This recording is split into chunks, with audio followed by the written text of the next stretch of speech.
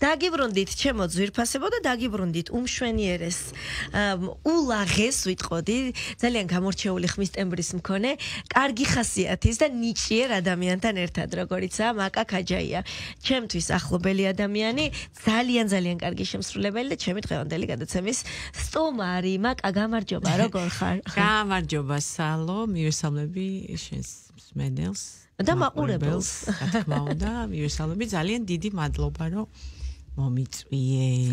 ნამდვილად, იმიტომ რომ ნუ შენ არ ხარ შორს ჩემგან.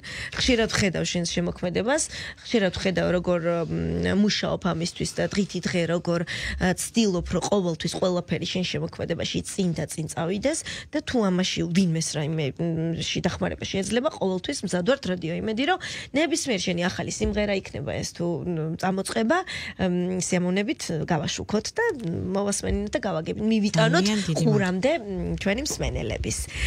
ახალი სიმღერა მოგვიტანე თუმცა მინდა რომ ცოტა იქამდეც ვისაუბროთ იქამდე რა რა ხდებოდა შენ ცხოვრებაში. ცოტაოდენი შენი შემოქმედებითი გზა საკმაოდ დახუნძლული და დიდია შენ არ დაგიწყია გუშინ და არც მით უმეტეს დღეს სიმღერა.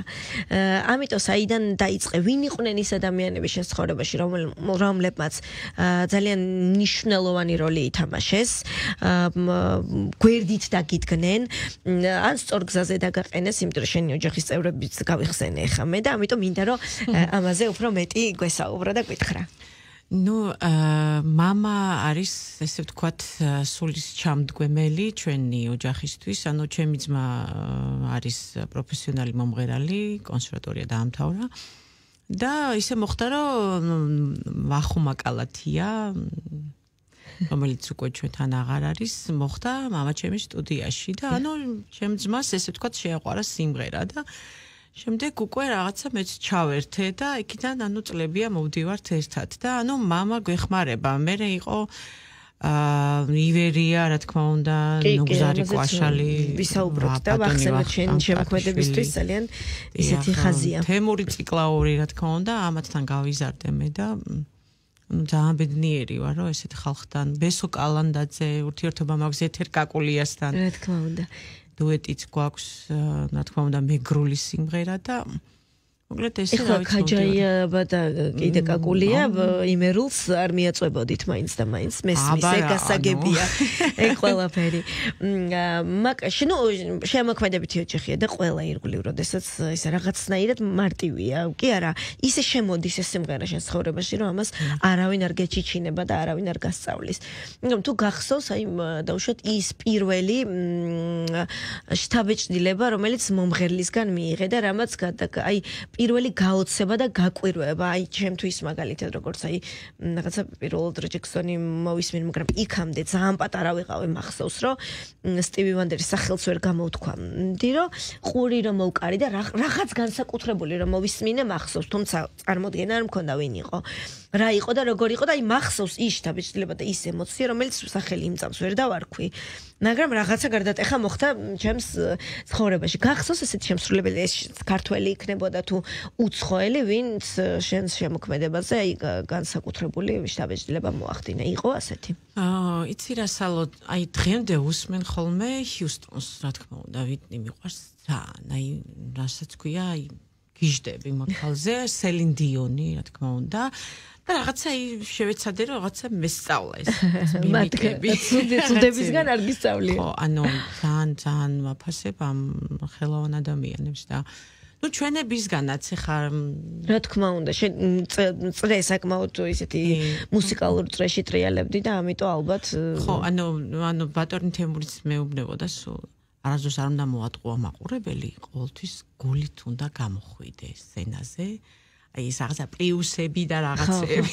არ არ გიჭირს მაგის ისედაც შენ არაფერი არ გიჭირს. არა, მაგრამ აი იმდენად ანუ ესე ვთქვათ, ანუ ჩამიჯდა ეს ის მაგის დარიგება, ეს ყველა ანუ თითოეული მათი სიტყვა ამ ადამიანების ეს ბომბერაზი ადამიანების სიტყვა რა თქმა უნდა უნდა გაითვალისწინო და რეალურად ჩვენ ყოველდღიურად ამას აკეთებ.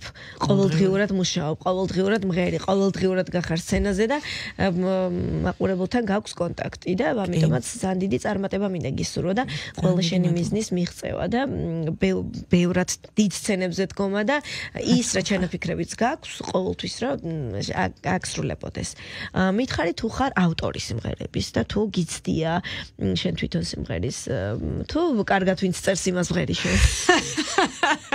იმათაცდი ხო ანუ მე არ მიცდია სხვა შორის ამხრივ რაღაცა ვიზარმაცე მე მგონი იმიტომ რომ სიმღერები რომელსაც მე ანუ ძალიან ბევრი სიმღერა მაქვს ბატონ ნუგზარ ერგემლიძის ანუ ერთ-ერთი უნიჭიერესი ადამიანი. მეც მაქვს ბატონო გზარის სიმღერები. კი, ანუ და რაღაცა ანუ გავზარმაცდი მაგ კუთხით, რაღაცა სულ სხვა ის სხვა მიანდე. ხო. ვინც კარგად წერს იმან დაწეროს და ვინც კარგად ასრულებს მან შეასრულოს. დღევანდელი სიმღერა რომელიც შენ ჩვენ რადიოში მოგვიტანე, მოდი ამაზეც გითხარი, სად ჩაიწერა, ვისი იდეა იყო ზოგადად შენ სხვა სიმღერებსაც რომელიც შენს ანგარიშზეა, ველოდებით რა თქმა უნდა, რომ შემდეგ ბაზაში იყოს და ვატრიალოთ ხოლმე. მაგრამ ის კონკრეტული სიმღერა რაც დღეს შენ ჩვენთან მოიტანე გითხარი ამის შესახებ. ნუ ეს არის მეგრული სიმღერა. შორს არ წასულ ხარ ისე? მეგრული სიმღერა, ანუ ჩემს ესე ვთქვათ, შემოგმედებით პროგრამაში არის რამოდენიმე მეგრული სიმღერა, მაგრამ ეს ერთ-ერთი რომელიც ხა ბოლო ნამუშევარია. დიახ. კიმიცირა מחარია ესე ქვია. დიახ, ვიცით.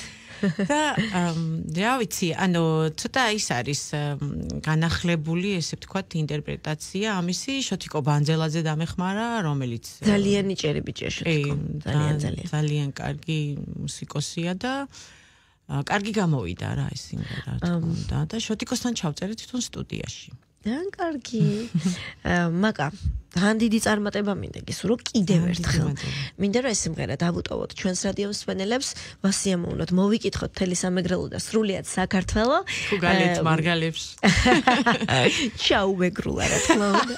წარმატებები მინდა კიდევ ერთხელ გისურვო და ვუსურვო ამ სიმღერას და დაგემშვიდობა და გელოდებით ისევ ახალ-ახალი სიმღერებით. მადლობა. ჩვენი კარი მუდამ ღია. დიდი მადლობა ძირფასება გიტოვებთ მაკა ქაჯაიას, ჩქიმი ზირა מחარია. აბა როგორ?